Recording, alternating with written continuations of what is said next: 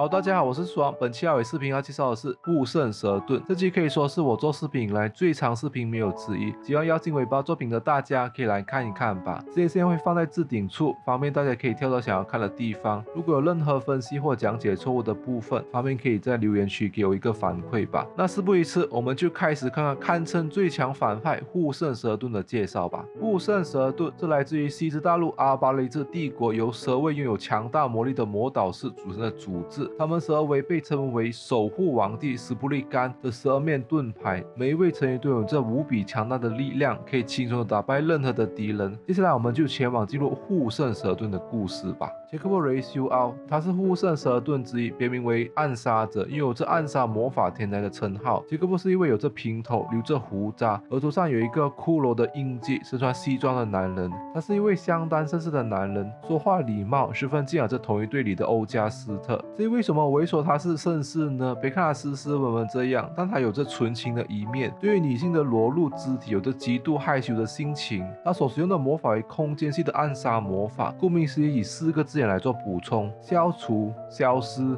看见以及隐藏，首先指的是消除和消失，它能够使自己或者任何人与物体的存在在现实空间以及异空间之间任意移动。从我们的角度看过去，就像是传送魔法的感觉。我推测他本人可以在自己的知识点中任意安排异空间的地点去做传送移动，然后来到隐藏的部分，同样他可以把自己或者任何人与物体的存在隐藏起来，就像是透明化的感觉，但属于完全的隐藏，无法透过五感去感知到。作品呢就有。把自己隐藏起来，和同样还有的是自己的武器，就来到了看见。在作品内，眉笔是属于只有印有妖尾纹这样的工会成员才能看到的存在。但由于他本身有隐藏这个能力，让他可以看见一些普通人看不见的东西，因此也能利用这个点去击中那个所谓的东西，也就是眉笔师。除了暗杀魔法之外，他也精通于格斗技。在战争开始后，他与天神塞琳娜和欧加斯特出现在伊修加的东方来入侵，追上了伊修加的三天王以及揪拉。他看到揪拉的。平通造型，因此对丘拉点了一个小赞。随后，天使塞琳娜便与他们正式开战。本来他想要帮忙在困境中的天神塞琳娜，但被欧加斯特以想见识一下其真正的实力而阻止了。最后，天神塞琳娜以压倒性的实力碾压了伊修加尔的四人，他还对此基于征战。但后续看到天神塞琳娜被阿库洛加给秒杀，感到震惊。本来想尝试出手，但被欧加斯特阻止，说我们不是他的对手，不要轻举妄动，便继续向妖尾工会进攻。凭着欧。加斯特的魔法，他无声无息的就来到了妖精尾巴工会，随后透露出虽然自己是暗杀者，但可以光明正大的去进攻敌人，便立即使用传送魔法，将妖尾工会的所有人传送至其他空间了。他隐约看见了梅比斯的身影，便向他攻击，便以工会成员的生命作为威胁，来让梅比斯告知有关妖精心脏的所在地。值得他却迎来了露西的伏击，他就怀疑为何露西他们没被传送走。露西解释道，由于狮子座的危难侦测能力，才使得。自己纳兹以及哈比躲开了刚刚的传送，那边开始袭击露西，那边突来的纳兹给挡下，随后两人展开了交战。由于纳兹怕毁坏工会，未能使出全力，使自己被他给压制住了。随后他使出了隐藏魔法，使得纳兹完全找不到他的踪影。聪明的露西料到他只是把自己的真身给隐藏起来而已，便召唤出狮子座，使出狮子光耀才能看得见他去攻击。那却开始以看不见的武器来反击露西他们，之后便趁机抓住了纳兹。便把露西身上的衣物透明化，想让纳兹看看所谓的地狱。但石头昏脑的纳兹却对眼前的露西完全没任何想法，而他本人却把自己的眼睛给眯起来了，而对眼前的一幕感到十分的害羞，完全不能看。纳兹便和露西开始了他们的作战，让感受到所谓的折磨。随后两人合力将他给击飞，使他感到愤怒，便决定把刚刚传送掉的妖尾成员们通通都给杀掉。但露西却对他说，刚刚被传送掉的人有他的伙伴布兰提斯和马林，他。查看了一下，便把两人给释放出来了。在释放出来后，露西立即召唤出双子座杰米尼，被称为马林，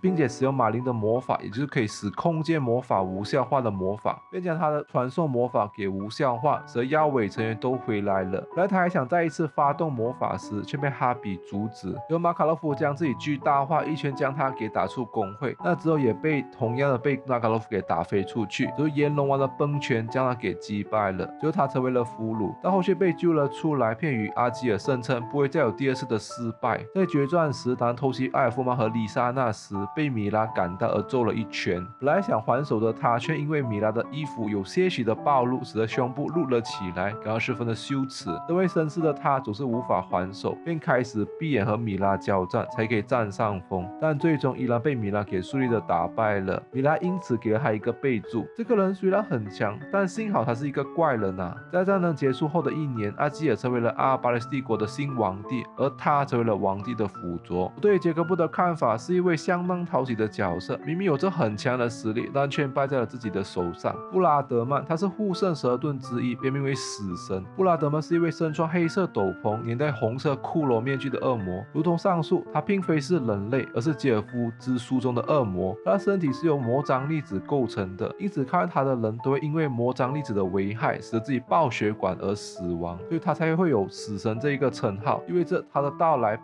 定带来死亡。他透露出一股恐怖的气息，让人感受到闻风丧胆。由于他特殊的身体，使得自己很难可以遇到真正能战的对手，所以他非常享受能够遇到强敌的瞬间。他是一位恶魔，所以使用的不是魔法，而是咒法，所以就被加基有吐槽自己的魔力没有其他十二盾强大。同时，他能够使用的冥府之门酒鬼们的所有咒法，是一个比酒鬼们更加强大的恶魔。在战争开始后，他也艾琳和拉凯德从艺术家的北方入侵，以自己的身体的绝对优势击败了所有来。引战的剑鸟之虎和青色天马的魔导士们，便俘虏了他们。最后，他遇上了加吉鲁，两人便展开了交战。他认为自己是很难被打倒的，毕竟魔导士的克星就是魔张粒子。但加吉有劝说，自己的肺是铁做的，使得他可以久违认真的开始战斗起来了。他一开始占据了上风，利用魔张粒子杀了周围战斗的魔导士们，同时使出冥府之门酒鬼们的咒法去进攻加基鲁以及中间参战的雷比，他被雷比给破解掉了。就他。使出了第三印记，超越酒鬼门之上的咒法——哭海埋葬，由五十个尸骸骷髅组成的咒法，把加基罗和雷比给困在了里面。最后，加基罗和雷比艰难的从中逃离了出来。但雷比因为他的魔张粒子而受到了重伤，使得自己倒地不醒。这时的加基罗暴怒了起来，为了能够打赢他，吸收了在他魔张粒子中的微量铁元素，变成和他一样的体质后，两人进入了殊死搏斗的环节。最后，他被加基鲁给打败了。就在他死之前，企图想。和加基鲁同归于尽，便把加基鲁拖至王权之中，却因为艾琳发动了世界重构魔法 Universe One 而失败，他因此战死了。就在十二盾成员集结在妖尾公会时，他被奈哈特使用四海的历史再生，但作为记忆中的使者，使得自己的实力不如以往。最后在战场上，他遇上了罗格，便开始交战起来。就因为奈哈特被纳兹打败的关系，使自己被罗格也给击败了。我对布拉德曼的看法，他的酒鬼门招式貌似。也就还好而已，并没有想象中的压迫力。比较深的印象应该停留在加基尔对雷比深情的告白的那一幕吧。阿基尔拉姆他是护圣蛇盾之一，别名为沙漠王，他是阿尔巴斯帝国大臣亚基罗的孙子，同时也是帝国内里其中一个小国的王子。阿基尔是一位有着棕色头发、黑皮肤、戴着橙色头巾、头戴着有着大佛珠状的红色耳环、裸着上半身身的男人。他为人好战，认为自己很强，给人的感觉很狂妄自大，十分的嚣张。所以总是大意轻敌。他所使用的魔法与杀魔法，是一位能够控制杀的魔导士，能以杀去追踪敌人，同时也能和杀融为一体，并且还能让自身变成杀，使得物理攻击无效化。他自称自己的以地狱杀死了无数的人，破坏了无数个城镇，使用他残忍厮杀的性格。在马卡洛夫被梅斯特从帝国救出后，他使用魔法进行了追击，但被格雷的银世界给冰冻起来了。最后使用以地狱抓住了众人，这正是他的实力是多么。的强大，马卡洛夫瞬间巨大化去救下了众人，但被沙之风暴给袭击，眼看就要被吞噬掉的众人，一股雷电从空中降下，将沙之风暴给击破了。攻击者来自于船上的拉克萨斯，随后梅斯特便在卡纳的提醒下移动上船内。本来他他想要阻止，但被拉克萨一级雷电攻击而阻挡了。他被赶来的欧加斯特使用保护罩保护，使得自己毫发无伤。这便开始责怪欧加斯特多管闲事，就这样放跑了敌人。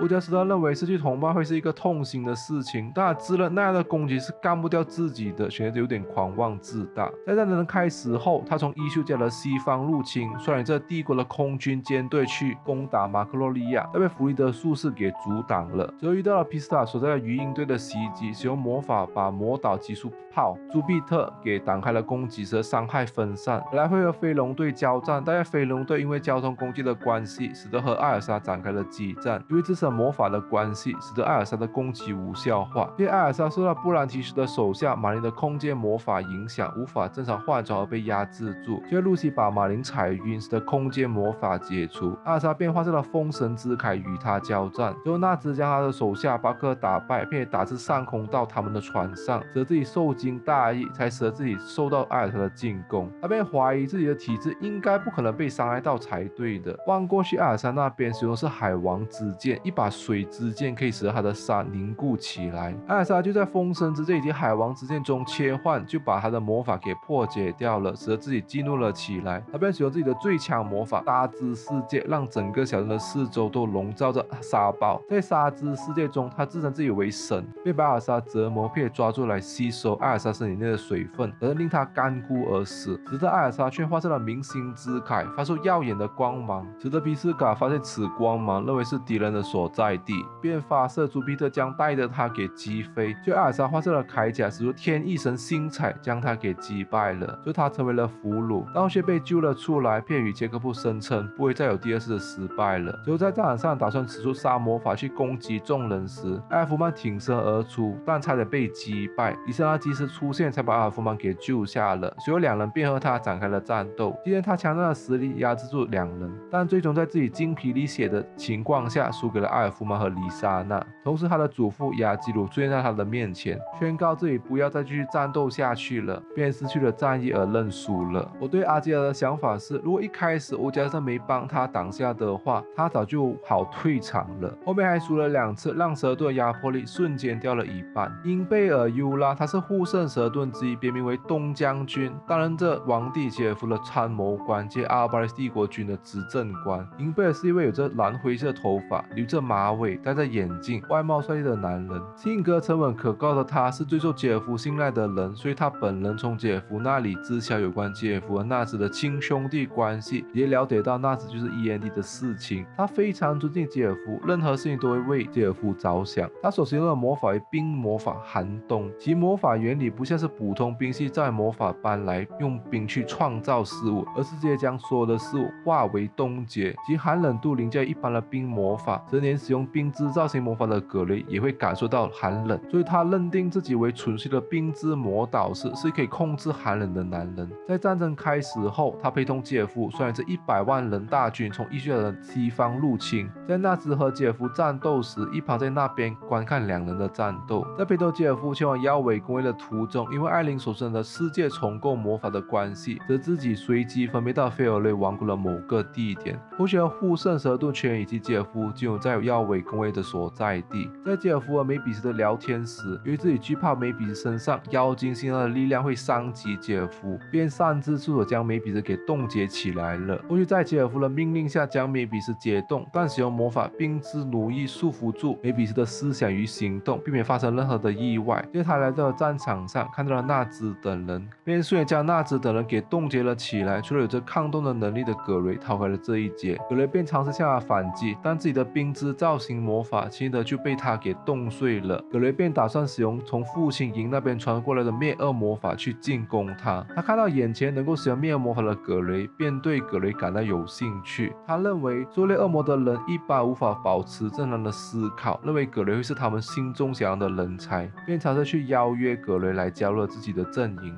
但被葛雷给拒绝了。最后，他使用冰之锁在葛雷和朱比亚的身上，他让他们自相残杀，来达成觉醒葛雷的黑暗面，并对葛雷有信心。W E N D 的人不是杰夫，也不是他，而是葛雷本人。葛雷和朱比亚不想伤害对方，便尝试自尽来让另一方给活下来了。但却出现了两边的自尽，使他大惊失色。世界上竟然有能够为对方付出的人。后续他便决定让自己来打败伊恩迪吧。但他预想不到葛雷会再次的出现在他的眼前，也想不到葛雷的伤害竟然无比的强大，被被迫使用自己的终极技能冰绝神衣，一套能够将所触碰的之处化为冻结的铠甲。葛雷却在此时创了一个与冰绝神衣同样性质的冰，而自己的神衣开始被打破了。最后葛雷在暴怒的状态下以冰魔灵芝破拳击败了他。败北后的他决定将伊恩迪的真实身份，也就是纳兹，告诉给。给格雷，打借格雷的手来杀掉 E N D。在战争结束后的一年本来企图想再次发动战争，但被抓起来了，也和奈因哈特一同入狱了。我对英贝尔的看法为，虽然说他伤害了格瑞和朱比亚，但因为有他，才让格瑞和朱比亚这一对的感情升温。奈因哈特他是护圣蛇盾之一，唯一成员没有自己的别名。奈因哈特是一位有着紫色长发，留有一个马尾，主要打扮都偏女性化，身为一个带有玫瑰图案绿色铠甲的男人。他性格 嚣张傲慢，不喜欢与他人合作。苏安给人的印象是一位患着综合病的男人，这自己是内心的魔导士，可以看见他人的内心世界，并将其情感深处的东西具现化出来。而被具现化出来的东西，被他称之为美丽的历史，能够让如此美丽的东西重现，感到相当的喜欢。他所学的魔法为具现魔法，是爱的历史，通过看到对方的内心世界，让其内心里的情感具现化出来，借此创造了生命。但对象必须是对方心目中属于是王者，才能被创造出来，以及其实力会不如以往的水平。其创造出来的王者有自己的本身的记忆、人格以及能力，让人可以感受到很接近本体的感觉。在战争开始后，他和提玛利亚瓦一起出现在哈鲁基翁近海船队上。他到达了城镇后，自己却留在了船上。接着，当艾尔莎、杰拉尔和神乐到了船上后，使出魔法重生了西蒙，也就是神乐的哥哥以及艾尔莎以前的伙伴。三人都为此感到惊讶，但后续否定为是本人后，便与西蒙交战。最后，他通过魔法把杰拉尔和神乐打至海中。后续重现了艾尔莎之前的强敌对手斑鸠、阿兹玛和狂花来向艾尔莎进攻，同时也将失来的历史扩散到整个战场上，使大家都遇到曾经在心目中的强敌。面对强敌的艾尔莎，抱着伤势去迎战他们，但被他们给压制住，随后被绑了起来。艾尔莎被绑了起来，而被他们给折磨，但依旧不放弃，并透露出一股压迫力，指明面的强敌都是他曾经打败过的敌人，根本奈何不了他。这些化的强敌从艾尔莎身上感受到霸气，便开始惧怕他，而慢慢的消失了。他对此感到惊讶，同时看艾尔莎的法式以及奇魔力，推测会不会是和艾琳有亲人的关系。赶回了杰拉尔看到受了重伤的艾尔莎，便愤怒了起来，来并以七星剑打败了他。同一时间，在战场上被死还是历史具象化的强敌，也被众人一一都给打败了。最后，他与十二盾的成员一同集结了在腰围工会，并以魔法重新出已死去的成员天神塞琳娜、瓦尔和布拉德曼，因为他们要好好的保护好自己。如果自己被打败的话，他们也会因此而消失的。就在腰围工会内告知阿莎的存在给艾琳，就被艾琳下达抹杀艾尔莎的命令，告知自己的魔法对艾尔莎无效。这里的艾琳说出了一个类似于。伏笔的发言，难道你忘记了自己的真实身份吗？听了后的他，整个人仿佛变成另一个人似的，拼命的去找艾尔莎。随后遇上了纳兹等人以及布兰提士，自称自己受到艾琳赋予的附加术，让自己的魔力更加的强大，想要把眼前的纳兹等人给抹杀掉，但被布兰提士给阻止。认为布兰提士已经背叛了艾琳大人，便使用年幼去攻击全员。布兰提士本想反抗，但发现自己的魔法对他无效化，但最终他被纳兹抱着想要。前进的信念给击败了。关于艾琳所说的伏笔发言，从我的看法来说，或许是艾琳使用魔法将她真正的人格给隐藏起来了，而这个附加是就让她的本体恢复的感觉吧。这当然是我的猜想，小伙伴如果有想法的话，可以分享看看吧。那我对于奈哈德的看法为，个人觉得他使用的魔法让侮辱出来这一点其实很棒，改善原来一下格瑞尔利安的心愿。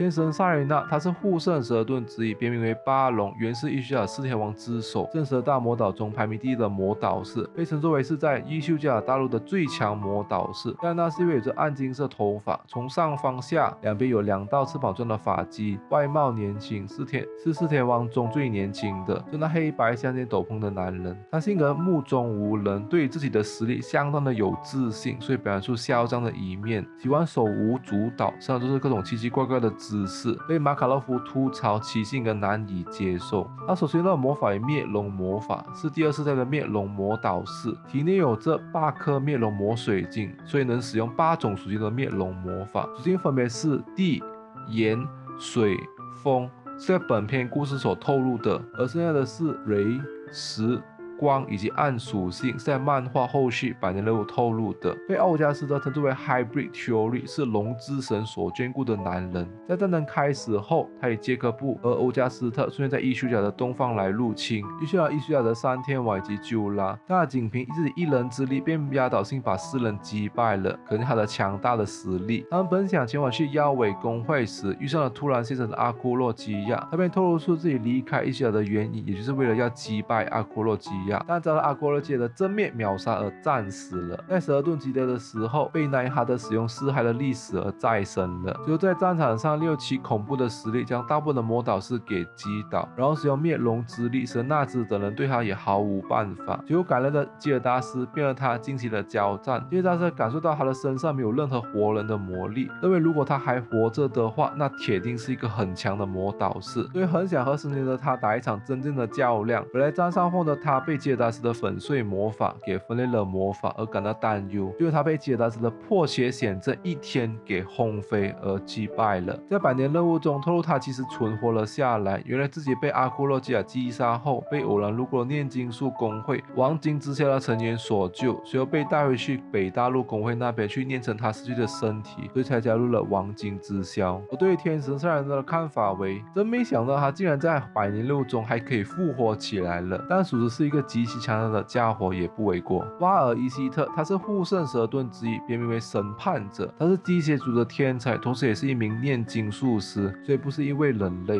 瓦尔是一位有着蓬散的黑色头发，下巴下貌似有数个铁钉，这个橘黄色紧身衣的机器人。他为人狂妄自大，但有时会特别的细腻，比如会使用机械傀儡来代替自己的行动。他的特征笑声非常洗脑，这里我来让大家听听看。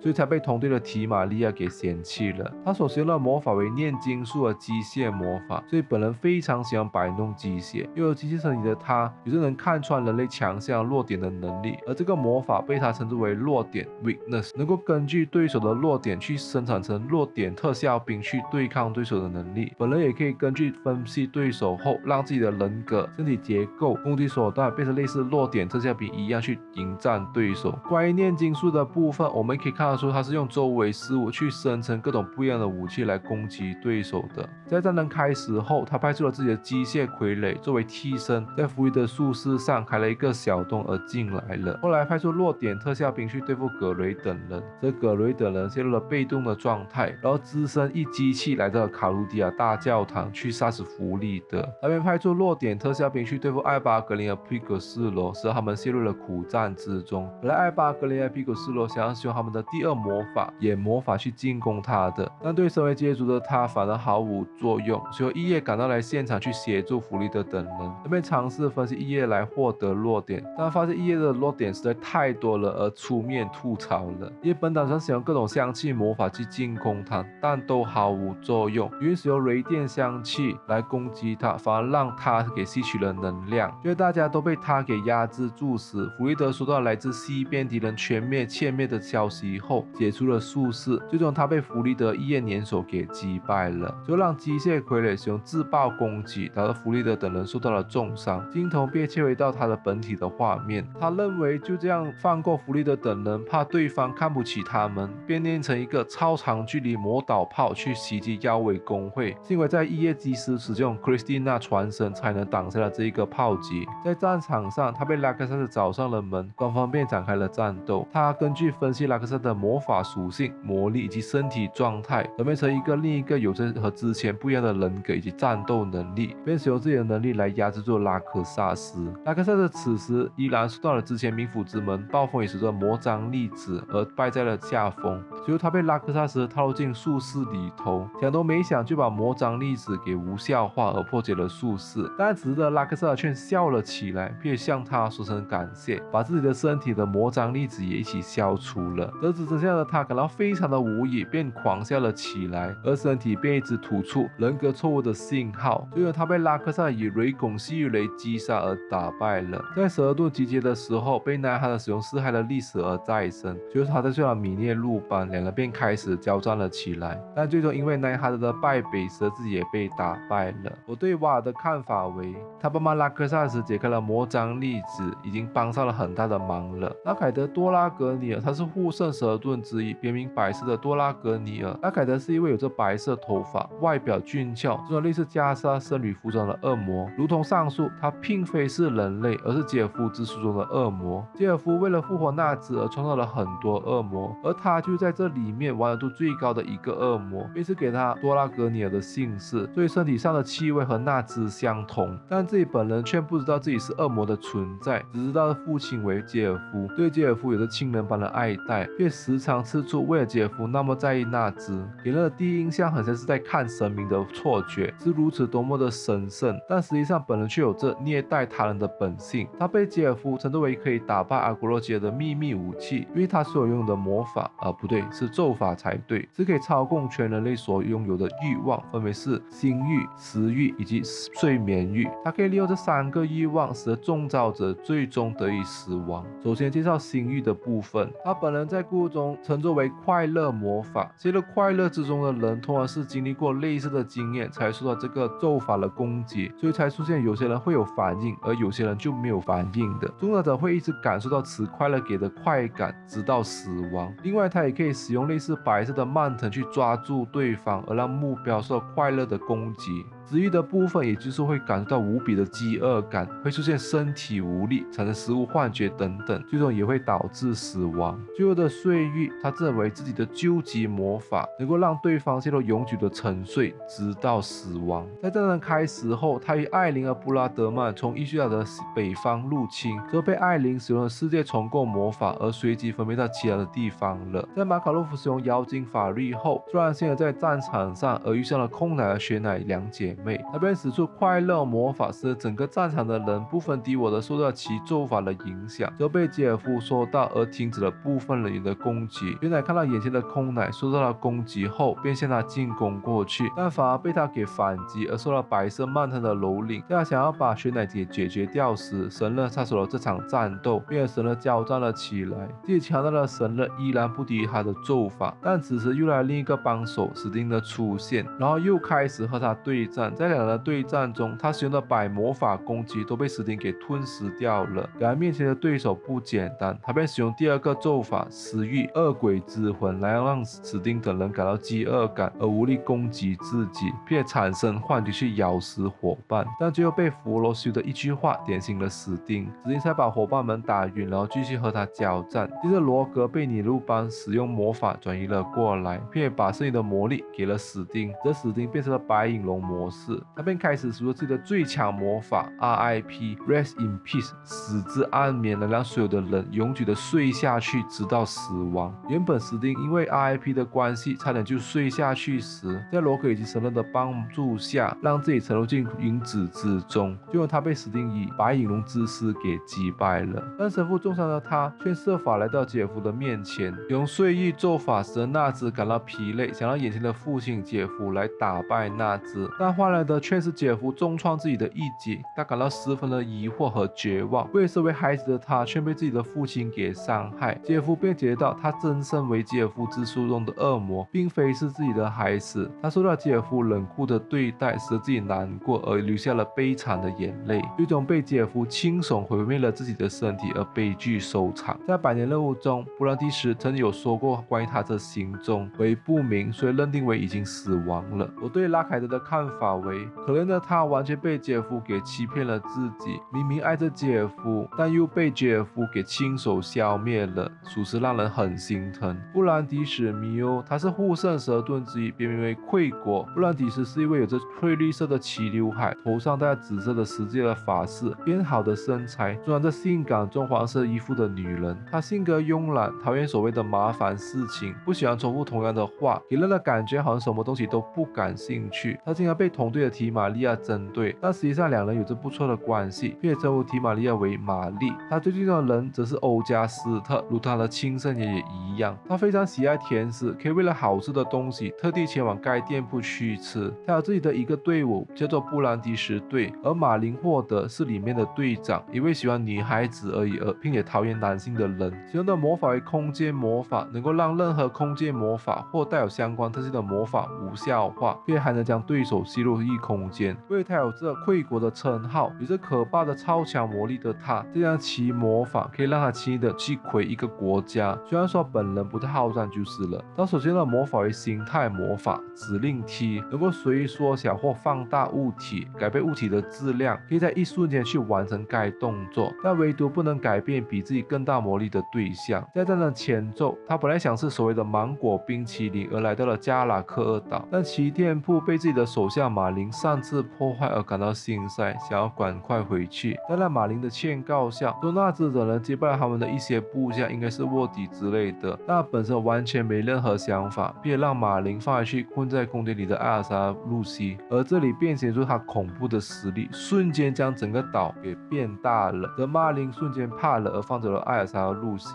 在纳兹的要求下，被马林给缩小去。后续也透露出，知道纳兹等人的真正目标，也就是马卡洛夫，便展出其压倒性的力量，把整个岛屿塑有看似消失的状态，来威吓纳兹等人，不要试图靠近阿巴莱斯帝国，因为像自己一样的人还有十一位，使纳兹等人感到非常的惊讶。在战争开始后，他感觉到之前遇到露西有点面熟，便潜入进露西的家中，之后逼迫露西和自己一起洗澡，不然就把露西的家缩小到没了。露西为了不让面前的他袭击工会与家里，只好乖乖就范，而选择开始了两人的裸体之战。期间，露西被迫戴上了猫耳以及其配件，她也被其可爱的外观给震惊了。露西找到了时机，想要对他动手时，他一声：“你是雷拉的女儿吗？”露西反而受到了惊讶，便问回他。随着他感受到愤怒，便开始把整个屋子变小，使露西急忙的从中出来。他没想到可以找到雷拉的女儿，本来想对露西出手。但遇到了路过的卡纳而被阻止了。露西这时也把他从手中获取的收纳盒给彩兰，时自己可以使用心灵魔法来对抗他。就阿基尔使出了沙尘暴，让整个城镇的花粉开始散播了起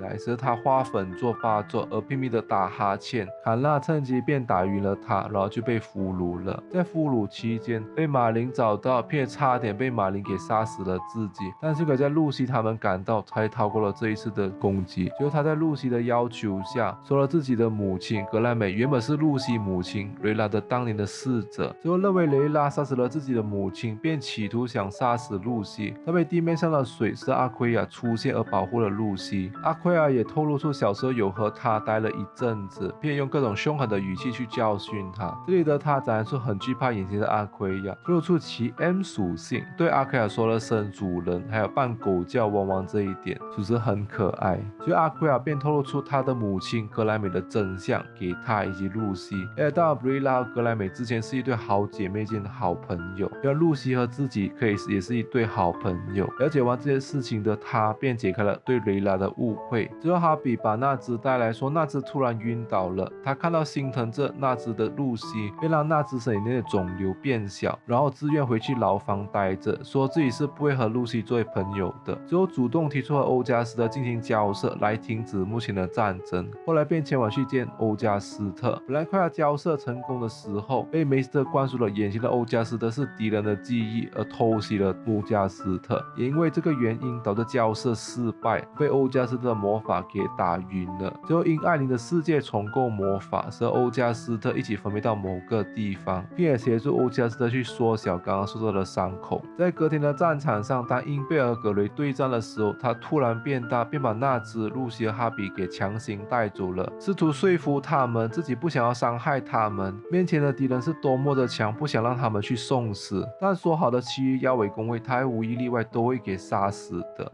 在交车中的他却遇上了奈哈德的阻止，但纳兹亲友就把奈哈德给打败，来证明他们是不怕敌人的。他认为以前的纳兹是一个强敌，便把之间的肿瘤恢复成原本的大小。然后露西认真展开战斗，实际上因为提玛利亚在一旁观看，便假装打起来，并败在露西的手下，但被提玛利亚给识破而受到了重创，之后被波留西卡等人给救醒了。后续他帮自己的伤口缩小来复原，同时开始感叹着自己。只能将伤口缩小，但却不能将自己内心的迷茫给治好。一旁的露西开导他，应该好好的面对自己。经历过迷茫、苦难考验后，才能使自己成长起来。他听了这一番话后，获得了一些宝贵的东西。之后，他确定不会和妖尾为敌，但是也不想作为其伙伴。之后，便将提玛利亚缩小后，将其给带走了。在对待阿库洛基亚的时候，他用连续献上魔力来帮助露西。在后续百年任务的篇章，他有透露到阿奎尔的钥匙在记录提纳大陆，所以自己是为了找阿奎尔才来到这个地方的。但无意间透露给了露西知道，其实他的内心明显就是想和露西一起争阿奎亚的。后面有帮忙把加酒变大三分钟去打木神龙等等的剧情。我对布兰迪什的看法为，围在蛇盾内的好人可以和露西变得友好起来，属实很棒。虽然自己是一位相当傲娇又很怕麻烦的人，但依然愿意帮助露。西去解决事件。提玛利亚耶斯塔，她是护圣蛇盾之一，别名为战妃，拥有镇衡战的是女神的称号。虽然被艾莎吐槽，明明是一个魔导士，却有这女女神的称号。提玛亚是一位有着金黄色短发、身穿骑士装、外表个人感觉挺帅气的女人。她性格比较抖 S，喜欢虐漂亮的妹子，接着爆开对方的衣服来享受看看他们娇羞时的表情。她经常习惯性的针对布兰迪什，并且称呼他为兰提，实际上自己是。非常在意他的，感觉就是自己的所有物一样，两人的关系也非常的要好。她本身为远古时期供奉时间之神克洛洛斯的时间之都米尔蒂安子民的后裔，因此他有着能够操控时间的魔法，名为十之风，让对方的时间封印起来，便自己能够在这个世界中自由行动，认定为是绝对不会输的最强魔法。但实际上对魔力比自己更强的对手是毫无作用的。同样，他还喜得能够接受时间之神克洛洛斯。的能力化身为克洛洛斯去进行战斗，是作品内第一位能够接受神明的魔导士，也是唯一一次神明出现在战场上的。在战争开始后，他从艺术家的南方入侵，遇上了神乐，便与神乐交手，但其魔法的关系，轻松就把神乐给击退了。最后对上了雪莉亚和温迪，同样使用了时间魔法，将时间停止。想要杀死温迪时，碰巧被存在时间夹缝的乌鲁提亚以思念体的形态现身，并解除了温迪、雪莉亚以及。陷入了时间封印，他对此感到极度的不满。既然有人可以在属于自己的世界中自由行动，随后便发动了接受魔法，接受来自于时间之神克洛洛斯的躯体，使得自己的魔力爆发。其强大的实力压住温迪和雪莉亚，同时亚路为了保护温迪而被迫时间给封印起来了。在这个情况下，乌鲁提亚看到眼前的少女们的坚持，被给出了一个提议：如果想要打败面前的他，便需要解放第三魔法眼，但代价为。永生再也学不会魔法了。后续就在雪莉亚带着温迪解放了第三魔法源，和他来了一场激战，最终以灭神奥义天之虫鱼击败了他。战败后的他当做了俘虏，随后被经过了拉凯德给拯救了。在集结十二顿时，他后悔自己经常嘲笑布兰迪斯的行头，而向他道歉，并决定为了报复而要好好的杀死所有的妖尾成员。在这之后，他却看见布兰迪斯与纳兹等人的交涉，对此感到十分的愤怒，认为布兰迪斯背叛了。之间说好的约定，而重创了布兰迪斯，并俘虏了纳兹与露西。后来想为了解放自己的怒气，要来折磨露西时，被觉醒变回恶魔 END 的纳兹给击败，并在纳兹的身上感到极度可怕的气息，整个人仿佛被吓呆了。他有透露出自己的时间封印对纳兹这一座恐怖的存在根本毫无作用，而选择了放弃战斗。在战争结束后的一年，他变得非常讨厌战争，而在龙岩中过着平静的生活了。我对于提玛利亚的看法为，玛丽 X 兰提这一对 CP 感觉真不错。艾琳贝尔塞利翁，她是护圣蛇盾之一，别名为绯色的绝望，被布兰蒂斯称作为是蛇盾中最强的女人。但我认为她可以是整个作品内最强的女人也不为过。她是灭龙魔法的创始人，同时自称自己为灭龙魔导士之母，对魔法界的发展有着很大的作用。艾琳是一位有着绯红色的长发，绑有四条辫子，有着和艾尔莎惊人相似的面孔，较好的身材。身穿黑色斗篷以及衣服的女人，她真实身份为艾尔莎的亲生母亲。虽然说表面冷酷无情，但实际上依然内心爱着自己的女儿。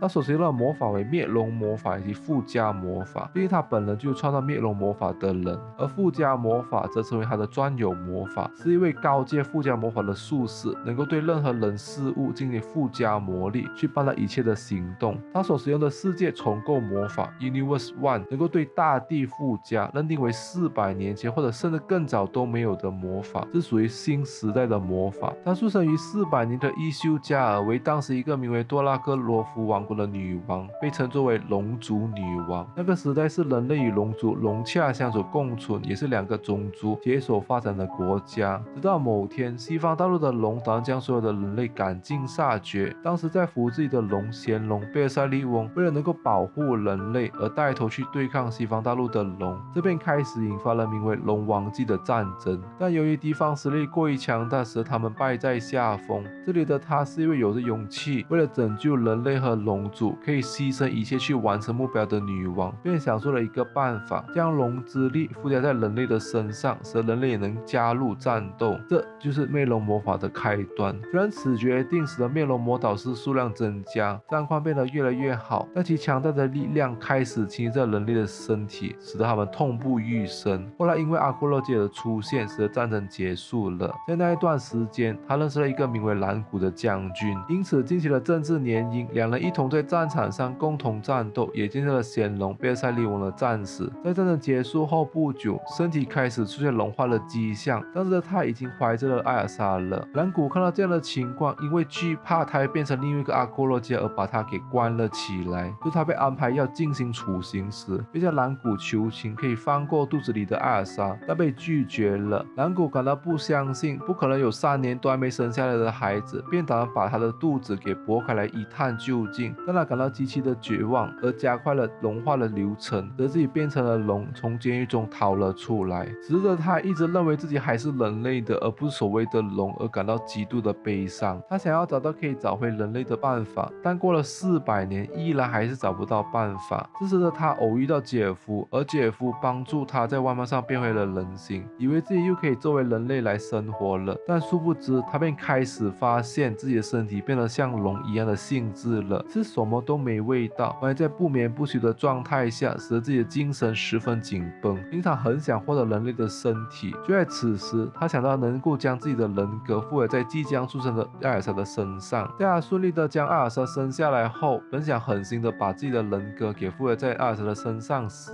还是因为了艾尔莎的笑容，却打动了他的心，则自己不忍心向艾尔莎动手，认为自己依然爱着艾尔莎的，便在决心还没动摇之前，把艾尔莎抛弃在罗兹玛丽村的教堂且，而离开了现场。回到来四百年后的帝国篇章，他从伊修加的北方入侵，因为相信同伴的实力而没有亲自动手，而打算迎战在逼近的阿库洛基亚。两人展开了一阵子的交战，被阿库洛基亚称赞他的实力不错，不愧是姐夫的手下。他依然认为姐夫能够超越面前的阿库洛基亚，不希望这场战争受到干扰，便开始发动世界重构魔法 Universe One，将阿库洛基亚传至遥远的地方，同时让杰夫能够靠近到妖精的心脏的所在地。发动魔法后，他传送到菲欧雷的王宫中，以压倒性的实力镇压了王宫军，并将翡翠公主变成老鼠。他感受到一股熟悉的魔力，便使用眼魔法去了绯红色头发的艾尔莎。在米拉珍打倒自己的部下海涅尔朱丽叶后，突然出现在他的身后，而向他们的报复。后来在欧加斯特重创了米拉珍后，才决定收手的，而前往了十二顿的集结。集结了后，他被杰尔夫命令负责分离梅比身上的妖妖精的心脏，于是便开始对梅比斯施展分离附加魔法。一旁的杰夫本来看着痛苦中的梅比斯，感到十分的难受，他便劝告杰夫，就要抛开所谓的天真情感，才能赢得了这场战斗和阿库洛基亚。后来被奈哈德确认了绯红色头发的女人便是他的亲生女儿艾尔莎，而命令奈哈德前去杀死艾尔莎，最后被梅比斯的幻影魔法给欺骗，而察觉梅比斯早已脱离了，便感到非常的愤怒，使用眼魔法去尝试抓梅比斯。在梅比斯主动现身后，对帝国军所有士兵附加了魔法，使他们变得狂战士一般。但随后被马卡洛夫使用妖精的法力，把几乎所有的敌人都给击败了。他感到非常的吃惊，但表示对战局无太大的影响。后来他出现在艾尔莎、温迪及露西的面前，并对他们进行了攻击。最后和艾尔莎、温迪开始展开对战，期间透露出他以前的往事，以及他是灭龙魔法的创始人等等。从温迪的口中得知，龙群们能够依附在灭龙魔导师的身上来抑制龙之种的成长，使得不会变成龙化的状态。他便明白了这一个道理。但由于当年传授魔法的贤龙早死于战场，而没有听说过这个方法而感到不公平。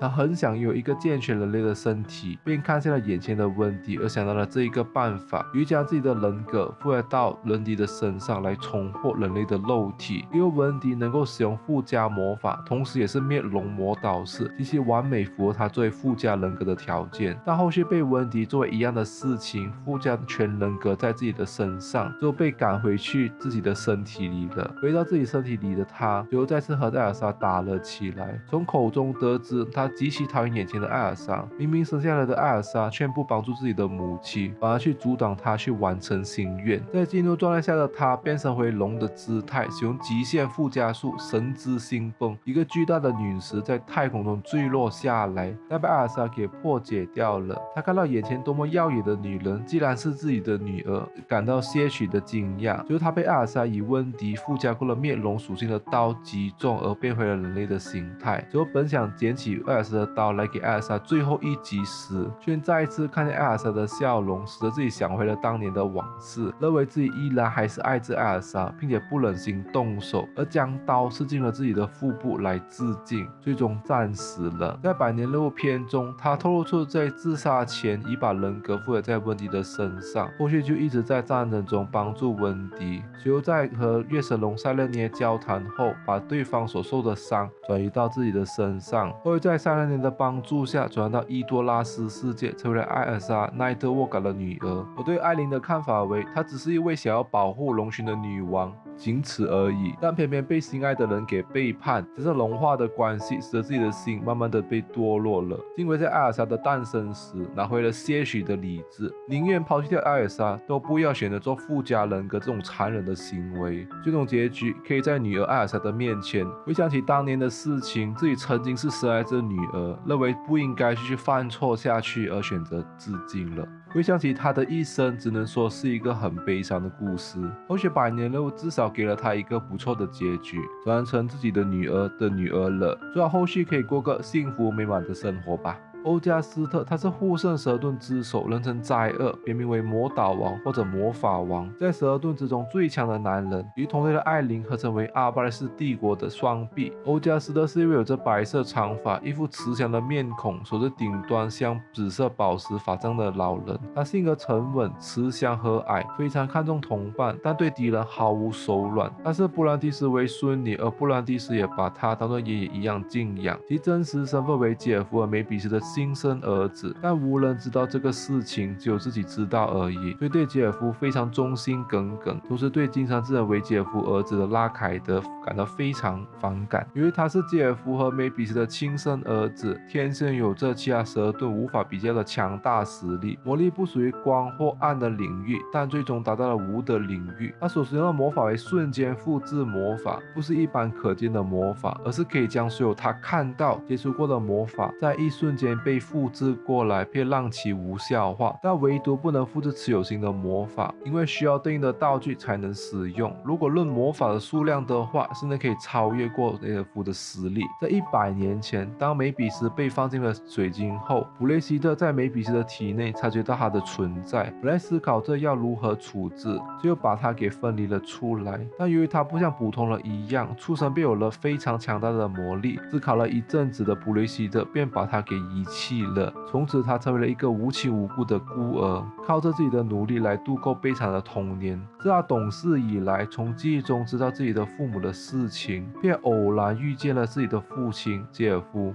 杰夫在他身上看到了许多与梅比斯相同的点，让他自己想回那一年与梅比斯度过的时光。而那时正是八月，便帮他取了一个名字欧加斯特，英文译名为 August，指的是八月。但杰夫对眼前的他与自己是两父子这一件事情完全毫不知情，他还一直隐瞒了这件事情。随后，他便随着杰。夫一起建设国家，成为了杰夫的蛇盾之一。回到来帝国篇的故事，在战争开始后，他天生塞莱纳杰克布从艺术家的南方入侵，遇上了艺术家的三天尾及朱拉，天生塞莱纳轻松就把他们给打败了。但后续天生塞莱纳也轻松的被阿库洛基亚给打败，而决定继续前往妖尾公会，而不惹阿库洛基亚。后来他伪装雷达的数据来欺骗妖尾众人，使得杰克布可以轻松的进攻妖尾公会，而自己就慢慢的独自步行去前往。其强大的压迫力和实力，使纳兹等人决定和布兰蒂斯一起前往去交涉。本来看见布兰蒂斯的面子上，打算交涉看看，那边梅斯特强行给布兰蒂斯换了作为敌人的记忆，而受到布兰蒂斯用刀刺穿了自己的身体。看到眼前如此卑鄙的纳兹等人，虽然震怒了起来，爆发出一股前所未有的强大魔力，使得在场的人都惊讶了。本想继续动手时，被艾琳的世界重构魔法与布兰蒂斯一同传去某个地方了。后面和艾琳会合后，本来对艾琳感到不满，但为了集结蛇盾的决定，便放置了一边去。之后帮忙艾琳去重装了米拉针来解开艾琳的怒气。在战场上时，他与魔女之罪的成员打了起来，那其强大的魔力将加尔等人的魔女之罪成员给完全的压制住。在问了加尔的动机后，感到失望，并透露出杰夫妻有儿子的消息。在世界重构魔法解除后，站在了卡地亚大教堂的顶端，本来想要灭掉所有的敌人，但被吉尔达斯给阻止了，并两人开始交战了起来。吉尔达斯的粉碎魔法对他完全不起作用，反而给他复制了魔法，而向他攻击过去。后续赶来的卡纳也加入了阵容，指出了妖精的光辉对他依然还是没任何的效果，但却躲开了卡纳的卡牌攻击。因此，使得吉尔达斯想到了他魔法的弱点，也就是不能复制持有者的魔法。后续他便被吉尔达斯使出最强的一击破血显阵绝天给打中，但依然无法将其给击败。就是他为了姐夫，打算使用禁忌魔法阿鲁斯玛奇亚来毁掉整个国家，但意外发现自己的母亲梅比斯就在附近，同时看到抱在一块的杰达斯和卡纳这一对父女，那想到自己不应该忍心去杀死掉梅比斯的，而停止了吟唱，而这魔法启动失败而触发了副作用，身躯慢慢的消散掉，但依然感到后悔没能让梅比斯可以亲手抱抱他，就在梅比斯身后说了一声妈妈而离世了。在百年任务中，在纳兹的内心世界中，可以看到他、拉凯德以及梅比斯杰夫四人一同过着幸福美满的日子。我对欧加斯特的看法为，他的一生都在探讨着为何自己并没有获得杰夫以及梅比斯的爱，最后得出的结果是杰夫根本不懂他的存在，但他依旧为了他要毁灭整个城镇，使得目标达成。这个时候却带出另一个伏笔，也就是能够阻止他的人。便是他的母亲梅比斯，梅比斯刚好出现在他的眼前，加上之前从吉尔达斯的身上感受到父女之间的亲情，认为梅比斯不应该死在这个地方，而选择放弃动手。